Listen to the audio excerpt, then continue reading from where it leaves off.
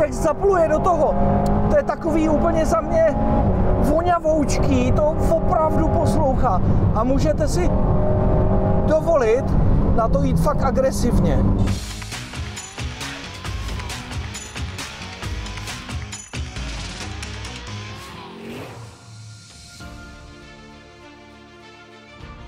Tak konečně jsme se dočkali, jsme na mezinárodní prezentaci nejostřejší A110, tedy verze R. Jak říkají, radikální verze. To auto si celkově představíme, nejdřív se podíváme na design, potom se vrátíme do auta a pak se podíváme ještě na interiér a zároveň krom okresek se svezeme i na okruhu Charama. Já musím říct, že tohle auto není o výkonu, je to především o lepší aerodynamice, o lepším podvozku a takových těch funkčních změnách. Pořád má 300 koní, má ten stejný motor, teda 1.8 turbo, ten, který známe z Meganu RS, s tím nejvyšším výkonem, který v Alpině můžete mít eh, a můžete ho mít ve verzi S. A oproti verzi S budeme vlastně to auto porovnávat. Takže eh, nejdřív na design, pak se vrátíme zpátky.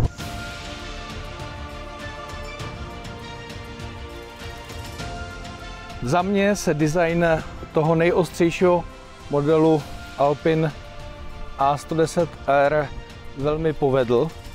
Podle mě to auto vypadá velmi dobře. Základem je modrá barva, je to stejná barva, jako má F1 Alpine, tedy A522 a ta je tady kombinovaná s karbonovými prvky a s karbonovými částmi karosérie a můžeme začít hned tady vepředu. Eh, když se podíváme dolů, tak tady je karbonové lízátko, eh, které je stejné jako má A110, nicméně jsou tady speciální průduchy nebo vstupy vzduchu na lepší chlazení brzd. Mimochodem i vevnitř potom na té těhlici je další náfuk, který žene vítr k brzdám. Pak je tady tahle ta karbonová kapota, kde jsou zase speciální otvory pro vstupy vzduchu, víceméně to kvůli aerodynamice prochází to tou kapotou. E, máme tady karbonový kola, který zdobí speciálně A110R a na jiný model nebude možné je objednat. Jsou tady karbonové boční prahy. Taková zajímavost, že ty vlastně prodlužují tu eh, podlahu, která je kompletně zakrytovaná, snižují víření a turbulence a vlastně posílají líp ten vzduch k zadní části vozu, tedy k difuzoru. Tady je takový zajímavý prvek na tom Prahu, do not walk.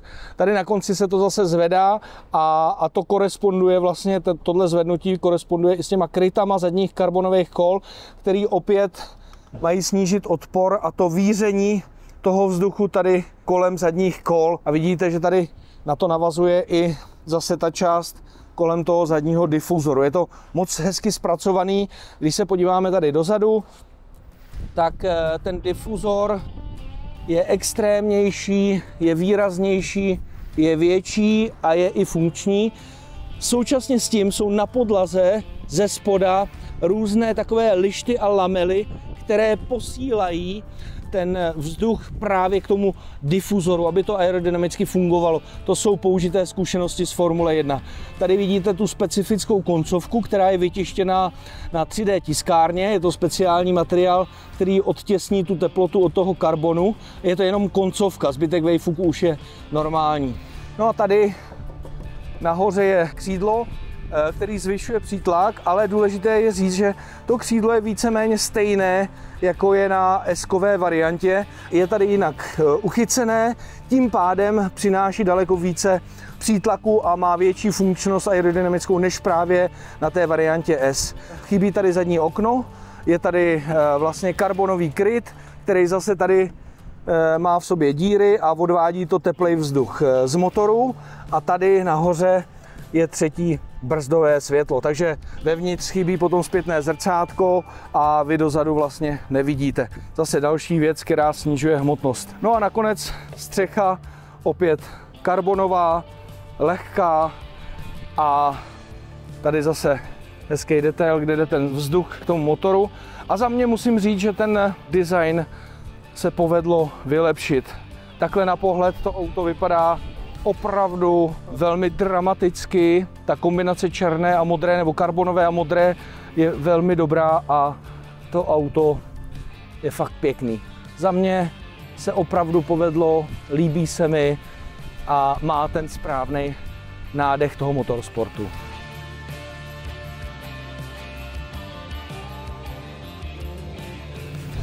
Tak já už mám za sebou eh, nějaký kilometry odjetý na té okresce.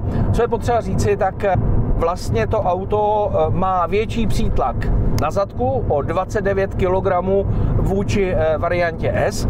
Vpředu se díky tomu nárazníku a tomu lízátku pod nárazníkem zvýšil přítlak o 14 kg, ale zároveň se snížil i aerodynamický odpor a tím pádem to auto jede maximálních 285 km za hodinu. Co se týče eh, toho podvozku, tak jsou tady eh, úplně nové eh, tlumiče ZF nastavitelné. To auto je o 10 mm blíže k silnici, to je taková ta základní nižší světlá výška oproti variantě S, ale vy si ho můžete ještě o dalších 10 mm snížit. To znamená, celkově dokáže být níž o 2 cm. Ale lidi z Alpin říkají, že tu nejnižší světlou výšku můžete používat pouze na okruzích, že byste s ní neměli jezdit na běžných silnicích. Pružiny jsou tuší o 10% eh, než u verze S, stejně tak tlumiče a jsou tady také tuší stabilizátory. Vepředu o 10%, vzadu o 25%, takže to auto by opravdu mělo být na té silnici tvrdší, tuší, nemělo by se tolik naklánět. Ty tlumiče jsou nastavitelné. Vy kromě světlé výšky na nich můžete nastavit ještě odskok a kompresi to auto, tak jak máme teďka, je v tom komfortnějším naladěním a na okruh doufám, že nám ho dají v tom eh, ostrým setupu s tou nejnižší světlou výškou. Brzdy tady mají průměr 320 mm, jsou to brzdy Brembo. Inženýři od Alpin říkají, že vylepšili o 20% chlazení těch brzd, takže by ty brzdy měly o něco lépe fungovat. Další zásadní věcí je hmotnost. Ona už sama o sobě byla vlastně lehká, i ta základní varianta. Esko potom váží něco lehce přes 1100 kg. No a tady se povedlo uh, u této verze R tu hmotnost snížit ještě o 34 kg.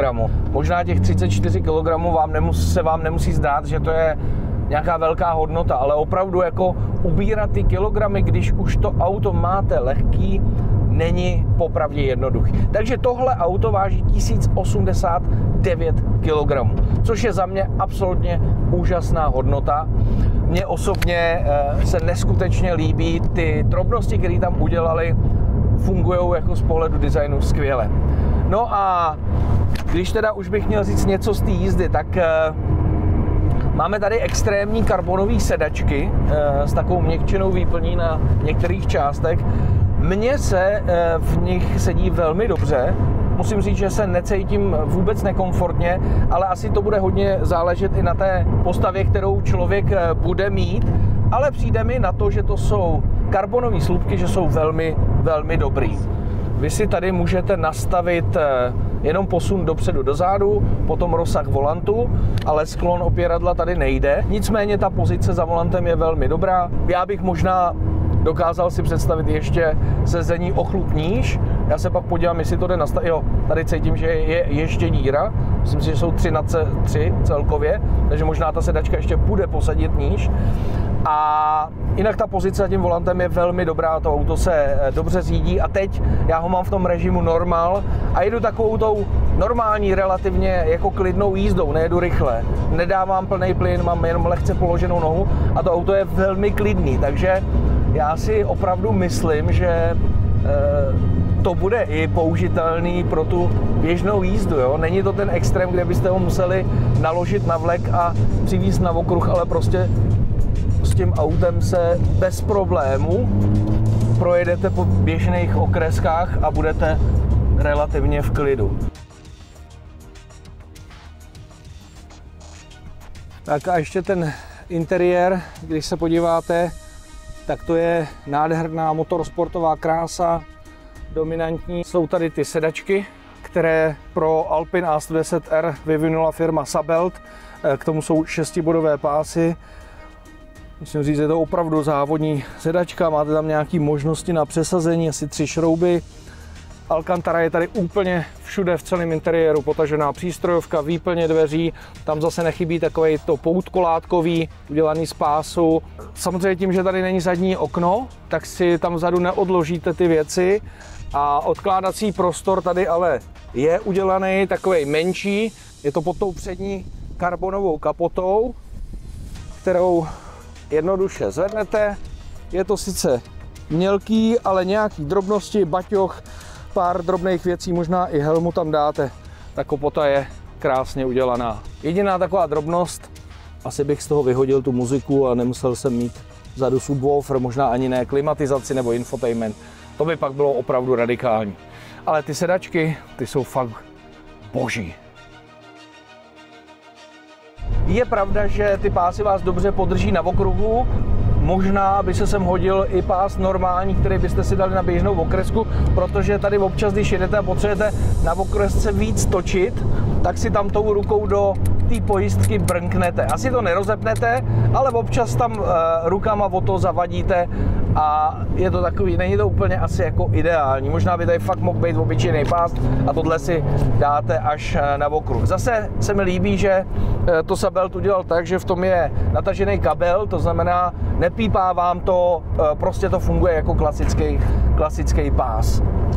Co se mi ale úplně tolik nelíbí, tak to je ten chod té brzdy, který i když takhle jedu pomalu, tolik na to netlačím, tak eh, on vypadá, že ta brzda bude tuhá, ale když na ní šlápnete a opravdu zaberete, tak najednou vám nepřijde, že by ten brzdný účinek tam byl tak extrémní a ta odezva zpětná do toho pedálu byla tak dobrá. Jako musím říct, že to jsem očekával takový jako agresivnější jako přístup v tomhle. Teď se přehodím do toho režimu sport, už začíná Wayfook bublat. Tady máme zase hezkou okresku. Důležitý je, že A110R má standardně eh, pneumatiky Michelin Pilot Sport Cup 2, takže pořádný lepivky. Ten Wayfook krásně bublá, ale co mě trošku vadí, že tady je hodně intenzivní ten zvuk toho motoru. Oni sem dali speciální přepážku za ty sedačky a ještě tam mají eh, nějaký sound generátor na tom sání, který by měl zesilovat eh, zvuk toho motoru. Ale mně se líbí to práskání venku. Ale ten podvozek se mi líbí, jako je hezky tuhej, i ta karoserie pevná, tuhá, nenaklání se to, funguje to velmi pěkně na té okresce. Uvidíme, co to bude dělat na českých silnicích, protože samozřejmě tady ve Španělsku ty nerovnosti jsou malý, nejsou tak eh, velký jako u nás, jsou tady specifický vlastně. Teď trošku jsme najeli na tu silnici s hrubějším asfaltem, přenáší se víc hluku dovnitř, ale ty e, tlumiče to víceméně zvládají dobře. Na tom autě je nejlepší e, jak tady funguje těch 300 koní, jak je to rozdílný oproti třeba Meganu RS, kde to auto je výrazně těžší a nepřijde vám, že by tolik jelo, tak eh, tohle to je opravdu dobrý. Na druhou stranu si myslím, že jeho největší benefit bude právě na tom okruhu, protože výkonově je na tom stejně jako s Eskem. Takže jako psychicky se s tím musíte srovnat, že to není tak ostrý, tak agresivní na motoru, ale že to je především o tom podvozku, o té efektivitě, kterou můžete projíždět zatáčky, o té větší rychlosti. Podle mě tohle auto patří na okruh. To Esko není špatný, je rychlý, ale furt je to takový každodenní, dobře jezdící sportovní auto. Erko bude dobrý na okruh. No a tam se podíváme za chvilku. Já jsem zvědav, jak bude fungovat na okruhu Charama. My tady máme možnost se podívat i na technická řešení, na, na tu úsporu hmotnosti a porovnat si to třeba s věcma, které právě se objevují v té variantě S. Tady můžete vidět eh, klasický eh, hliníkový kolo, tady to karbonový celkově se ušetří na těch kolech 12,5 kg, to znamená zhruba 3 kg na jednom a opravdu, když jsem to zkoušel, to kolo je výrazně lehčí. Je to neodpružená hmota, takže velký pozitivum pro podvozek. Když už jsme u toho podvozku, tak tady máme vidět ty tlumiče, tohle je přední tlumič, zadní tlumič. Tady jednoduše tímhle červeným kolečkem se e, mění to nastavení. Je tam až 20 poloh. U auta z výroby je to nastaveno na prostředek, to znamená na desátém kliku. Tady vlastně, co můžeme další věc vidět, tak kromě toho tlumiče, tak vidíme systém, jak v Alpině posílají vzduch k brzdám.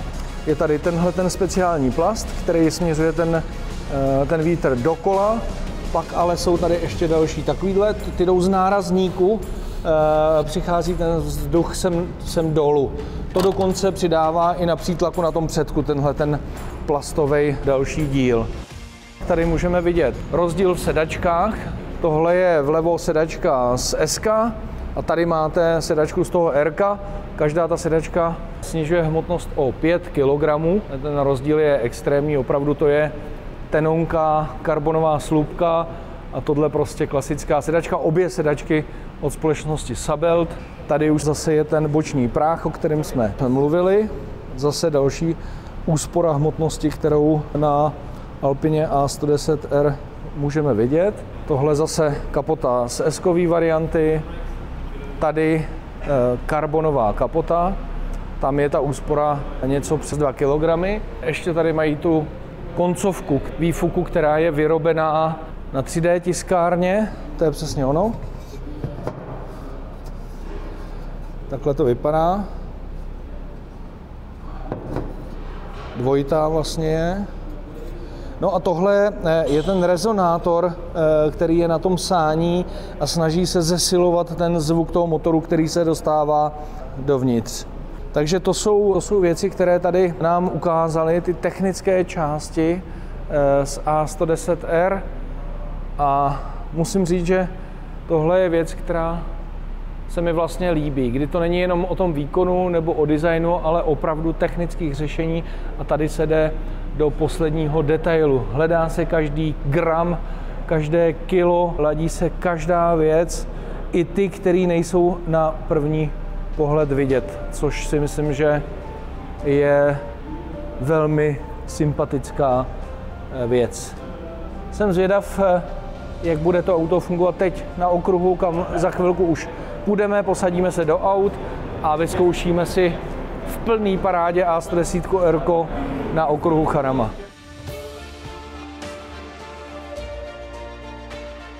Tak a konečně eh, je to tady. Vyrážím k rychlým kolům na okruhu Charama. Já jsem rád, že jsme tady, protože ten okruh je technický, náročný, tady stoupání, hodně těžké zatáčky, takže tady se ukáže ta kvalita Alpinu A110R a já jsem sám zvědav, jak to auto bude fungovat jinak než na těch okreskách, protože my máme samozřejmě i jiný nastavení trošičku, než jsme měli na ty okresky, to znamená, že teďka je to auto co nejnižší vlastně o těch 20 mm, o 2 cm a máme také tuší nastavení tlumičů. Je naklikáno dalších 5 k tomu ostřejšímu, to znamená 20 eh, nejměkčí, 10 střed, ten je z továrny a my máme 5, takže to auto vlastně je nejnižší a ještě tuší. A už teď cítím, že je to znát, eh, to těžiště je níž samozřejmě a to auto krásně jede, má takový víc okruhový feeling. Mně se to líbí, že to auto je jak vlastně teďka prkno, že se minimálně naklání, krásně se stáčí do zatáčky, ale uvání to pekelně teda. Téměř 230 na, na rovince brzdy. Jo, teď už mi ty brzdy teda přijdou o dost lepší než na ty okresce, nevím proč, tam ten pedál se mi nelíbil a to dávkování tady, když jede už do plných, tak mi přijde, že to funguje dobře. A ten podvozek je teda jako dobrý, opravdu dobrý. Ty jo, to, no, tak tohle je pěkný nastavení, to je hezký. Opravdu hezky poslouchá na to zatočení. Trošku ten předek vypadá jako lehčejc, ale vlastně není. Krásně to funguje. Dokonce my teď jedeme na tu track stabilizaci, to znamená není úplně vypnutá, ale hodně pustí. Na těch kapech se to tady nedostane víceméně do nějakého zásadního skluzu, ani to nebliká, nebrzdí to to auto. Musím říct, že vážně dobrý, byť si můžete ještě navíc tu stabilizaci kompletně vypnout, jo, to samozřejmě můžete, ale to auto skvěle poslouchá. Bych si představoval trošku líp možná rozložený ty pádla, nebo větší minimálně trošku. Ježíš, ale to funguje teda. Ty jo, super. To poslouchá teda neskutečným způsobem. Tady to nepřišlo na té okresce tak brutálně dobrý, ale tohle je teda jako fantazie. To je masakr. Když se posadí úplně nejníž a stvrdí se ty tlumiče, tak je to jako kapovka, jak závodní kapovka, která prostě podvozkově funguje. E, máte brutální zpětnou vazbu s tím autem si opravdu můžete hrát eh, na hraně, tavit ho a oproti S a těm ostatním verzím se vlastně téměř vůbec nenaklání. Když to přežene, tak si tak jako poskočí závodně a opravdu musím říct, že ten dojem z toho auta na tom okruhu je absolutně boží. To je ta správná okruhovka, ano, tady to funguje skvěle. Tohle se vážně povedlo. Za ty peníze je to jako dobrá cena. Vychází to 2,5, Sice to nemá samozřejmě šestiválec jako třeba Cayman, ale za mě je to prostě absolutně jako uh, fantastický auto a povedlo se to, myslím si, že za ty peníze to jako rozhodně stojí a je to výjimečný. I když to není limitka, je to další model, tak tady dole potom je očíslovaný. Každý to auto stejně bude mít výrobní číslo, ale není to z pohledu limitky, ale jenom tam dali plaketku, že to je R, že to má nějaký číslo. Jako líbí se mi to, musím říct, že, že na tom okruhu mi to spravilo náladu a musím říct, že to je absolutně famózní.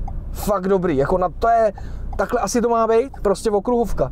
V klidu si dojedete prostě eh, po okresce, na okruh a tam zužitkujete to prostě to maximum toho auta. Za mě dobrý.